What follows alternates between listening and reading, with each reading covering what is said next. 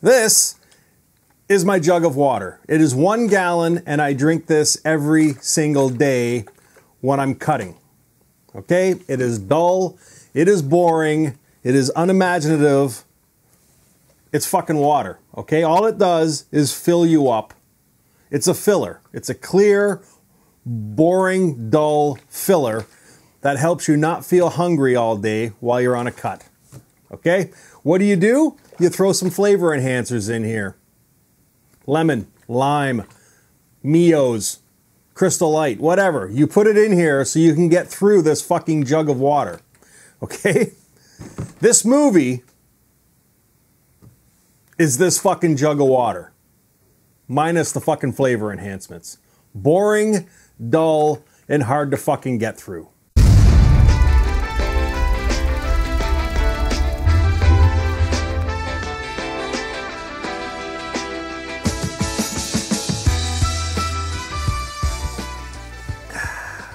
All right. Let's get through this.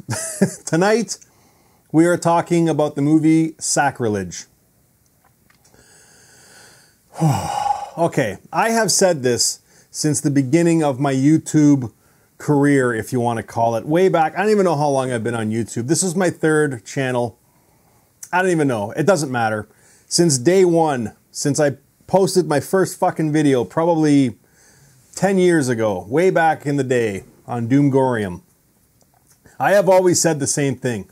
It does not matter what size budget you have for your movie, whether it's you have like a billion dollar budget or you have like a do it yourself zero budget. It does not matter. One of the key elements to any movie, any budget, any style is the writing. Okay? If you don't have a good story, or if it's not written well, or if you don't have some sort of fucking development and, and, and, writing skills to give to your actors, they have nothing to work with. and that is this movie, okay? The acting isn't that bad. The direction isn't that bad, considering it's his first full length feature, David Creed. But he also wrote this movie. And, uh, the, the writing in this movie is terrible. It's absolutely fucking terrible. It's it's an hour and a half movie, and I, I swear to God, it's an hour and 20 minutes of filler. Like there is just there's nothing in this movie that you haven't seen before. And there's just so much stuff in here that doesn't need to be in here. It almost looks like they wrote portions of this movie, but they had no idea how to write portions of this movie. It's awful. it really is. And I went on IMDb, which I know I shouldn't do, and I read some of the reviews, okay?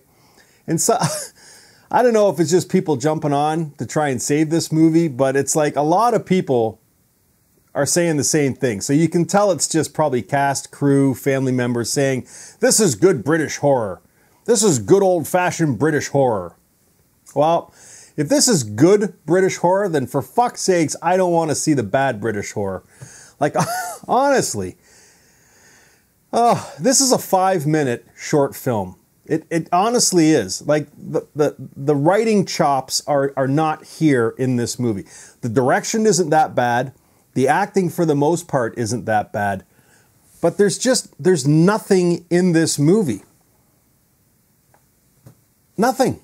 It's it's everything that we've already seen. It's it like tropey and, and cliche after cliche after cliche. The story itself: four lifelong friends head to, head to a remote lodge for a weekend of fun. Well, ho, ho, we're getting off to a good start right there because we've never heard that one before. What begins as an idealistic retreat quickly descends into a fight for their lives when a local pagan cult offers them up to their goddess as a sacrifice for the solstice. Ooh. like, okay, that part might sound good. It's de- definitely not original, but the way it, it's put forth in this movie is awful. like, I, listen, I know the director wrote this movie, and I don't know if he had like a bunch of, I don't know how he wrote it, okay? I don't know if he wrote the script and then he gave it to his friends and they were all a bunch being being a bunch of yes men saying, "Oh, this is fantastic. This is great. Go ahead. Go." Listen, if I had one of my friends give me this script the way this is put on on the the screen, and I don't give a fuck what the budget is. Like I said, whether it's $10 or $10 million, it makes no difference, okay? I would say, dude, no.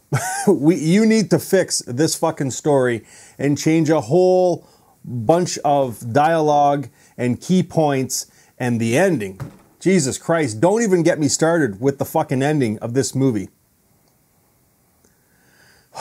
I'm going to tell you what the ending is. I'm going to here's my hand going up, okay? When my if you don't want to listen to this part, turn the volume off or fucking plug your ears, okay? This is the ending of this movie, okay?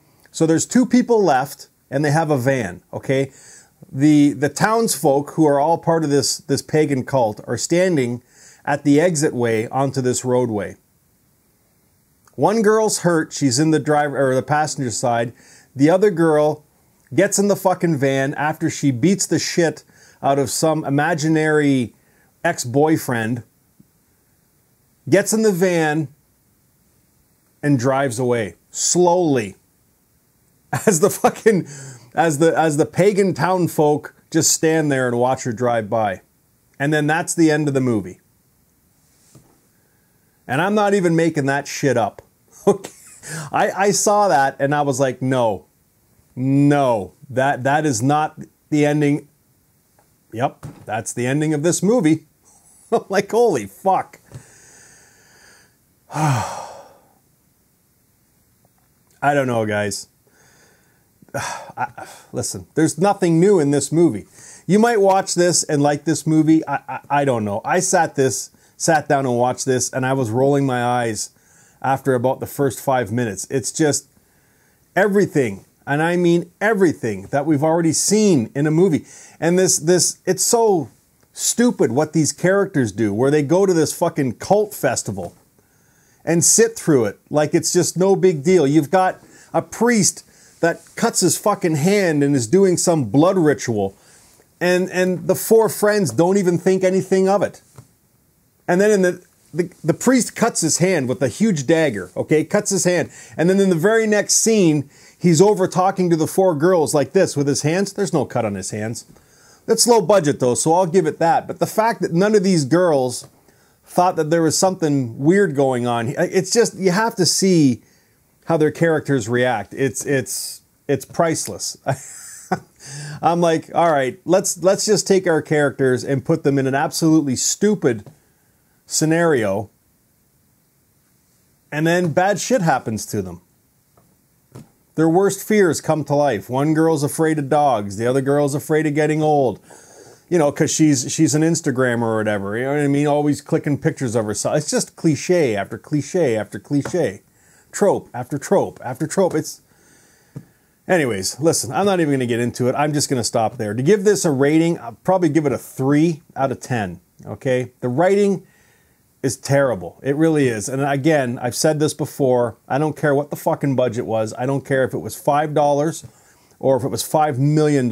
It does not matter. If you have a bad, badly written story, it, it's, it's just it shows on the screen. Okay, it's his first time. I'll give him that. But goddamn, like I don't know who who you gave this to to to pre-read this before you actually started filming, but they should be ashamed of themselves because I mean you've got something that probably could have had some potential, but I mean I've seen more more than enough first-time directors put their their movies to film and listen, you don't even know, you don't even need me to say the movies that I'm talking about, guys. So, anyways, Sacrilege, it's out now.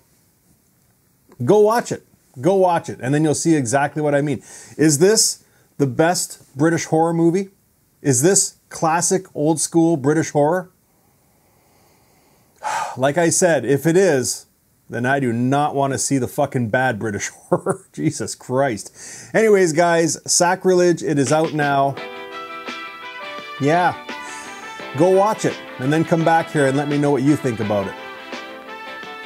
Unbelievable. Until next time, guys, stay scared.